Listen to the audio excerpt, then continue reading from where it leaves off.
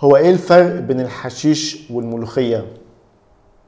طيب ليه إحنا بنتريق على اللي منع المصريين من إن هم ياكلوا الملوخية ومش عارفين مين منعنا ان, إحنا نشرب الحشيش؟ طيب افرض ما كانش الحشيش ممنوع كنا هنشربه. طيب هل نعرف إن إحنا مصر كان ليها تأثير كبير جدا على منع الحشيش في إسرائيل؟ هنتكلم في موضوعات كتيرة جدا وهنجاوب على أسئلة كتيرة جدا وهنفضفض لكن بعد الفاصل.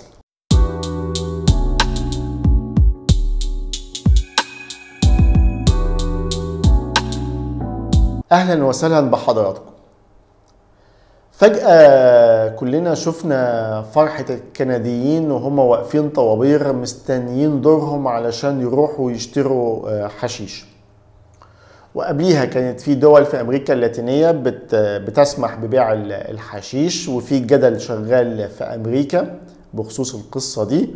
وقبليهم طبعا كانت هولندا بالشوارع اللي هي محدداها إنها تبيع حشيش في أشكاله المختلفة.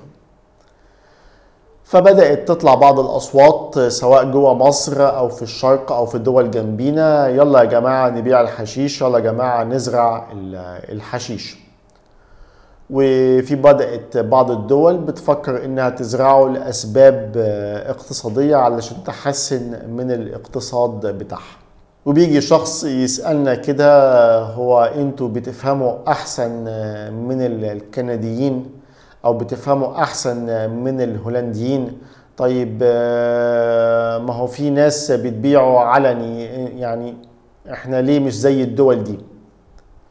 والإجابة الأولية بتاعتي أيوه يا فندم إحنا بنفهم أحسن من الكنديين وإحنا بنفهم أحسن من الهولنديين وإحنا يعني العلم مش حكر على حد.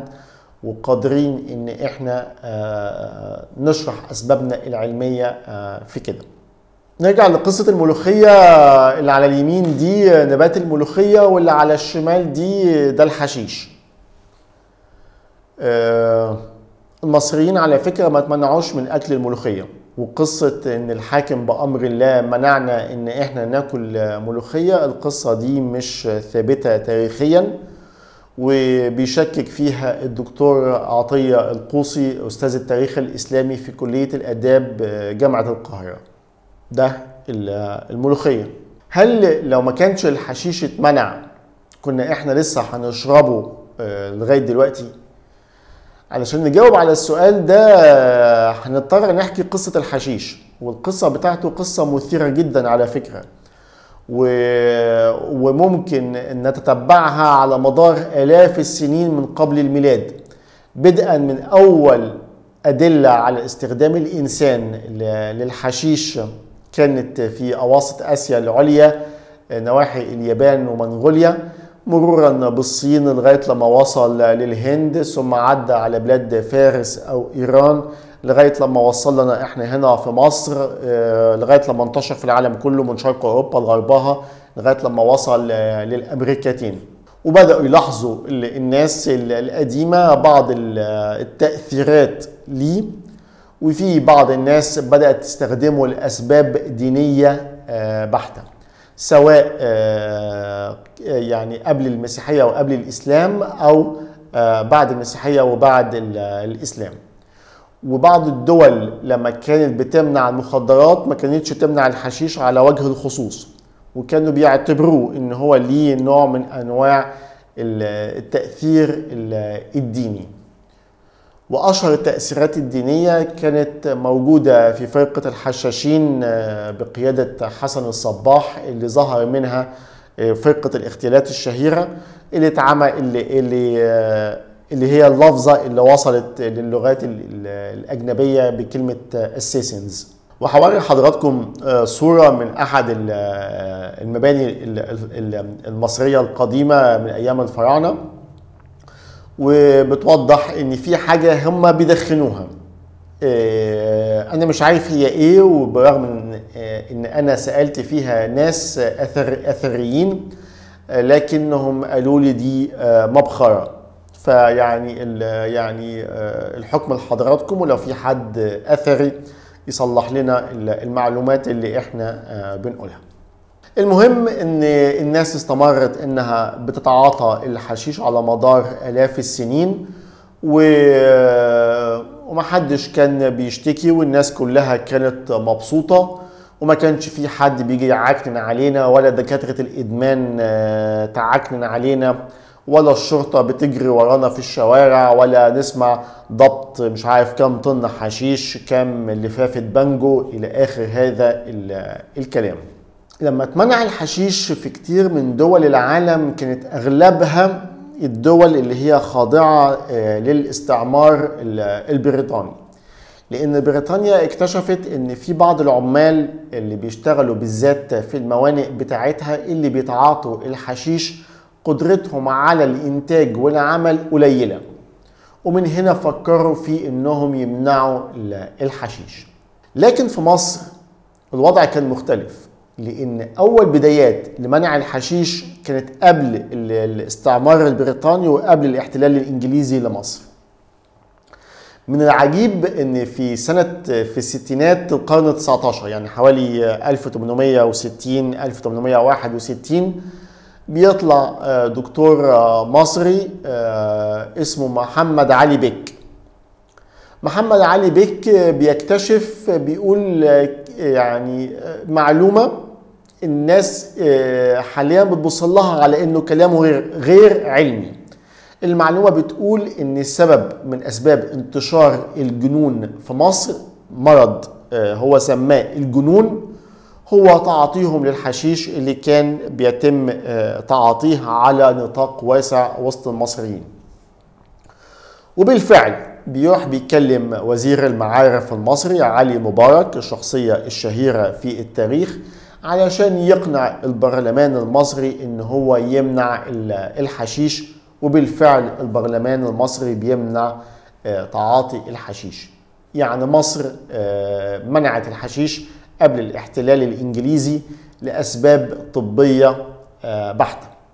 يعني في كده بعض الدلائل التاريخية إن أول قرار رسمي بمنع تداول الحشيش في مصر كان سنة 1879 يعني برضو قبل الاحتلال الإنجليزي. بنوصل ليناير 1903 في 1903 في شهر يناير مدير مستشفى اللي هي حاليا العباسية مستشفى العباسية للصحة النفسية. كان دكتور إنجليزي اسمه جون وارنوك.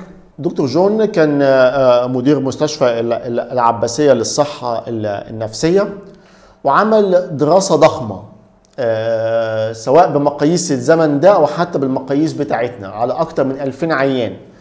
وقارن الدراسة بتاعته بدراسات مشابهة لمصحات نفسية لدول خاضعة للاحتلال الإنجليزي بدءا من البنغال ونواحي الهند حتى وصولا لإنجلترا. وبينشر الدراسة بتاعته في مجلة علمية في الوقت ده اسمها Journal of Mental Science في يناير 1903 هحط لحضراتكم عنوان البحث ده علشان البحث ده مثير بالفعل. وبيخلص إلى نتيجة مهمة جدا وهي إن في مرض اسمه الجنون في الوقت ده اسمه كده. والجنون ده 27% من الناس المصابة بالجنون هم مصريين بيتعاطوا حشيش. وإن تأثير الحشيش على عقول المصريين وعلى صحتهم النفسية أعلى من تأثير الحشيش في الهند وفي بقية المصحات اللي ممكن في الدول الخاضعة للاحتلال البريطاني. وفي وقتها برضو قال إن في بعض السيدات المصريات بيشربوا الحشيش. البحث على فكرة لذيذ و وأنصحكم أنكم يعني تقروا. وهحط لكم الرابط بتاعه. الناس اللي يعني بتقول إن البحث بتاعه مش علمي قوي أو البحث بتاعه مش يعني سواء يعني بالمقاييس الحالية كان محتاج نوع من أنواع الانضباط أكتر. لكن المهم إن هو شيء أنا شايف إن هو بحث مهم جدا. وأعتقد إنه ممكن إن إحنا نبني عليه بقية الكلام بتاعنا. ده كان في سنة 1903 في سنة 1904 بيجي مصر ضابط إنجليزي اسمه رونالد ستورس رونالد ستورس ضابط ضابط ضابط إنجليزي اشتغل فترة في مصر وبعد انتهاء الحرب العالمية الأولى وصدور وعد بلفور وتأسيس إسرائيل. هو بينتقل هناك حاكم عسكري هناك وهناك بيطلع قرار حاسس إن المصريين استفادوا منه أو جايز يكون متأثر بالقرار الإنجليزي كمان. فأصدر القرار بتاعه بمنع تداول وتعاطي الحشيش في إسرائيل. لكن في بعض المصادر الإسرائيلية بتقول إن هو تاثرا بالقرار المصري اللي كان موجود في مصر. بقية الكلام بتاعنا مختص بسؤال بسيط جدا. هو لو ما اتمنعش شرب الحشيش في مصر أو في بقية الدول هل كنا هناخده؟ بصوا حضراتكم. بغض النظر على اللي عملته كندا أو اللي بيحصل في في في الغرب أو اللي بيحصل في أي حتة. منظمة الصحة العالمية في التقسيم الطبي العاشر بتاعها كانت مسمية كده الإضطرابات دي. Mental and behavioral disorder يعني اضطرابات عقلية وسلوكية نتيجة لتعاطي مواد مؤثرة على الحالة الذهنية. كانت من ضمن المواد دي الكحوليات الحشيش الافيونات المو... العقاقير المهلوسة كل أنواع المخدرات. استمر الموضوع في التقسيم الطبي ال11 واستخدمت يعني واتحط موضوع الإدمان في في جزئين أو في شابترين من التقسيم الطبي ال11 في التقسيم الطبي ال11 اسم الجزء الكبير mental behavioral and neurodevelopmental disorders يعني الاضطرابات العقلية والإضطرابات السلوكية. والاضطرابات ال neurodevelopmental النمو عصبية. ال chapter اللي تحتيه اضطرابات تعاطي المواد. وحطوا زي ما أنا قلت لحضراتكم نفس التقسيمة الكحوليات الحشيش العقاقير المهلوسة الأفيونات إلى آخر هذا إلى آخر هذه المخدرات. ورجعت تاني. منظمة الصحة العالمية حطت المخدرات في chapter تاني اللي هو chapter عنوانه Q حرف Q hazardous use of cannabis أو بقية المخدرات. يعني الاستعمال الخطر للحشيش أو بقية المخدرات. فموجود في جزئين. نفس القصة موجودة في تقسيمة الأمراض العقلية دي اس ام 5 التقسيم الخامس اللي طالع من الجمعية الأمريكية للطب النفسي. الناس فاكرة إن الحشيش ملوش أي أعراض انسحاب. الكلام ده مش حقيقي. بس أنا هفضفض مع حضراتكم. السؤال بتاعي كان هل لو ما اتمنعش الحشيش كنا لسه هنستخدمه لغاية دلوقتي. بصوا حضراتكم جوه منظمة الصحة العالمية وجوه الجمعية الأمريكية للطب النفسي في نفس الفصل اللي موجود فيه الحشيش والخمور والكحوليات والأفيون والعقاقير المهلوسة وكل المخدرات حاطين من ضمنها كمان الكافيين والنيكوتين. الكافيين اللي موجود في الشاي وفي البن وفي النسكافيه وفي كل الحاجات دي. والنيكوتين اللي موجود في السجاير وفي السيجار وفي الشيشة. يعني السؤال دلوقتي هو الحشيش زي الكافيين أو إن الحشيش زي النيكوتين بتاع السجاير؟ ده بيخلينا نبص للموضوع نظرة يعني أعمق ونظرة مختلفة. إحنا هنفترض دلوقتي إن الحشيش مسموح وإنك تقدر تدخنه في الشارع زيه زي السجاير وتشربه على القهوة زيه زي الشاي والبن. كون إن في حاجة معينة مقبولة مجتمعيا ده مش معناها إنها صحيح أو إنها لائقة أو إنك ممكن تستخدمها بدون تمييز. الكلام ده مش حقيقي. يعني حتى على مستوى الكافيين وعلى مستوى ال ال النيكوتين اللي, اللي, اللي الناس بتدخنه عادي جدا في الشارع ده مش معناها إن ده صحيح أو إنه حلال أو إنه مقبول ولائق اطلاقا. فما بالكم بقى لما بنكتشف ودي حاجة إحنا بنقدر نلمسها في الشغل بتاعنا ونقدر نثبتها علميا ونقدر نخاطب بيها الناس بره احصائيا إنه ليه تأثير مدمر على الحالة النفسية. ليه تأثير مدمر على الصحة العقلية. أحيانا كتيرة جدا بتلاقوا بعض الدكاترة المصريين يقول لك الشخص الفلاني عنده ديوال دايجنوزس يعني تشخيص ثنائي. يعني إيه ديوال دايجنوزس يعني هو عنده مرض نفسي أو مرض عقلي بسبب تعاطيه لمواد مخدرة ايا ما كانت هذه المادة. لكن من خلال الممارسة بتاعتنا إحنا نقدر نلمس تأثير مدمر للحشيش على الصحة العقلية وعلى الصحة النفسية. والناس دي للأسف الشديد قبل ما بتتعالج من الإدمان بنعالجها في الأول من المرض النفسي أو المرض العقلي اللي هي أصيبت بيه. وجزء كبير جدا من الوقاية من المرض النفسي والمرض العقلي هو إنك ما تاخدش الحشيش أو المواد المخدرة دي. برجع أأكد تاني. كون إن في حاجة مقبولة مجتمعيا دي مش معناها إنها صحيحة. لا صحيحة أخلاقيا ولا صحيحة آه علميا ولا صحيحة آه طبيا. ولما بنيجي نتكلم عن الصحة الطبية عايز أوضح كم نقطة يعني حتى ولو كانوا آه متطرفين شوية. أول حاجة علشان تبني معلومة علمية سليمة لابد إنك تاخدها من مرجع علمي سليم.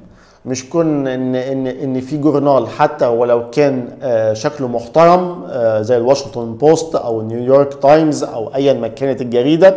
ده مش معناها إن الكلام ده كلام علمي محترم ويمكن إن إحنا نبني عليه قرار أخلاقي. دي أول حاجة. تاني حاجة هفترض إن أنا معايا مجلة علمية وفيها بحث علمي شكله محترم والمجلة العلمية دي مشهورة ومحترمة. هل معنى كده إن البحث بتاعها ده مش خاطئ؟ لا ممكن يكون خاطئ وممكن يكون منحاز وممكن يكون مش سليم وإن المؤلف بتاع البحث أو الاوثر ما كانش محايد بشكل إنه يحترم العلم. وهفترض أنا هفترض إنه كان انطبقت عليه كل معايير الحياد وإنه بالفعل كان حيادي. برضه للمرة الثالثه مش كون إن في حاجة مقبولة علميا يبقى صحيحة اخلاقيا أو صحيحة في كل الأجناس وفي كل الجنسيات ومع كل البشر. تمام؟ النقطة الرابعة الأبحاث اللي اتكلمت عن فوائد الحشيش في علاج بعض الأمراض لدرجة إن هم تحسوا إن كل المشاكل الطبية بتاعتنا انتهت بتميز بين أكتر من مركب جوه مادة الحشيش. لأن جوه نبات الحشيش في مواد كيميائية كتيرة جدا. في من ضمنها المواد المسؤولة عن التأثير الإدماني أو التأثير المدمر للصحة النفسية والعقلية. لكن في مواد تانية ممكن نستخدمها طبيا؟ آه ممكن. دي المواد اللي, اللي, اللي إحنا بنستخلصها بتستخلصها شركات الأدوية واللي بيبقى لها بعض الاستخدامات الطبية بالذات في علاج HIV الايدز الإصابة بمرض الإيدز أو في علاج الآثار الجانبية للأدوية الكيماوية في علاج مرضى الأورام. والمواد دي معروفة وبتتصنع بشكل دوائي وللناس المنبهرة بالغرب هقول لكم إن المواد دي واخدة OK من ال FDA آه فالمادة دي اللي بتستخدم في علاج الأورام هي dronabinol وليها الجرعات العلاجية بتاعتها وليها طريقتها في في صرف الدواء. وفي نفس الوقت الأبحاث اللي اتعملت عليها اكتشفوا للناس المنبهرة بالأبحاث الغربية إن ملهاش أي تأثير إدماني. بعكس المادة اللي هي بتسبب التأثير الإدماني واللي بتسبب التأثير الضار على الصحة العقلية وهي الدلتا 9 تترا هيدروكنابينول. فمش كون إن في مركب بيستخدم في الحالات القاسية من مرض الإيدز أو لعلاج الآثار الجانبية للأورام ده معناها إن الحشيش بقى مفيد أو إنه ملوش تأثير ضار. بالفعل تم استخلاص المادة الفعالة, الفعالة دي وبتستخدم بشكل دوائي وعلى فكرة حتى لغاية دلوقتي بشكل صارم في صرف الأدوية في في أمريكا. إحنا هنعمل فيديو تاني عن قصة الإدمان. بس عايز أقول لحضراتكم إن جوه برضو قصة الإدمان بين قوسين برضو في التقسيم ال11 للأمراض اللي طالع من منظمة الصحة العالمية إن في إدمان على ال video games. ده موجود تشخيص. آه ومتقسم نوعين ال games اللي هي offline وال games ال online ده تشخيص وده تشخيص موجودين جوه منظمة الصحة العالمية. فكوني إني آه بلعب جيمز دي مش معناها إن دي حاجة حلال أو كده لا. هل وصلت المرحلة الإدمانية فيها ولا لا؟ فما بالكم بقى بالحشيش. فما بالكم بقى بحاجات كتيرة جدا في حياتنا. فقصة الإدمان قصة كبيرة جدا هنبقى نط... يعني نشرحها ونتناقش فيها. لكن آه أنا من أنصار إن الحشيش يظل آه مادة آه مخدرة ليها تأثير مدمر على الصحة النفسية والصحة العقلية.